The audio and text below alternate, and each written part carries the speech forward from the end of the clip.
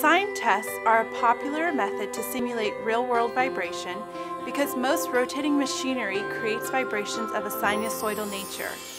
When shakers vibrate according to a sine profile, they reflect the types of vibrations found in automobiles, airplanes, factories, and many types of pumps and engines. Whereas a random test generates many frequencies at once, a swept sine test generates only one frequency and sweeps this frequency through a preset range.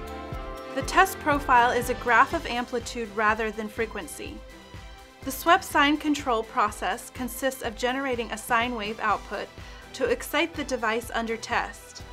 When the control signal input amplitude is detected, the detected level and the reference amplitude are compared, and the drive signal amplitude is updated appropriately. Tracking filters greatly reduce noise and the harmonic signals above and below the sine drive frequency.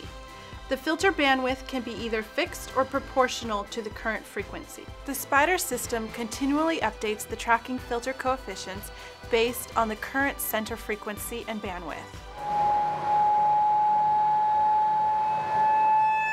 Safety is a critical concern in a vibration test. If anything unexpected happens, a well-designed controller will safely and smoothly shut down without damaging the test article. For example, a controller running a sine test will immediately stop if a sensor falls off. The shaker will also stop in the event of an amplifier failure or of a broken cable.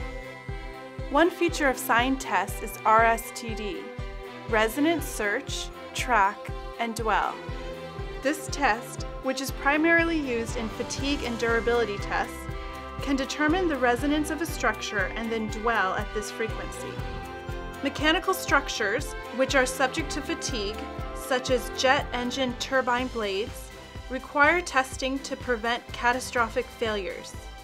Failures of all materials occur fastest when they are subject to vibrations at its resonant frequency. A sine sweep is initially used to determine the resonant frequency of the material. Crystal Instruments developed phase tracking to track changes in a device under test resonance as that resonance changes during the test. The amplitude and phase can be measured continuously and accurately. The vibration frequency can also be finely adjusted to assure that the material is consistently vibrated at its resonance frequency until a steep change in amplitude signifies fatigue. Crystal Instruments designed the first fourth generation vibration controller using the latest in technology. The only thing better than our controllers is our unparalleled support.